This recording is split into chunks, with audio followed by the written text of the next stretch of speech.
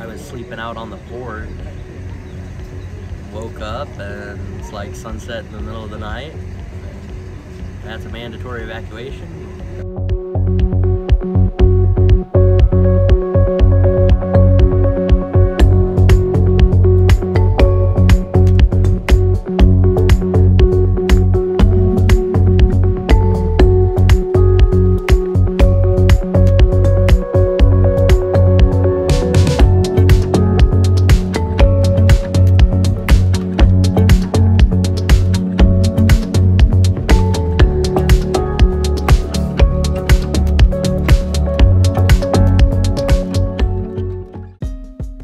Thanks for watching. If you like this video, check out these other videos from USA Today to stay up to date with all the latest news.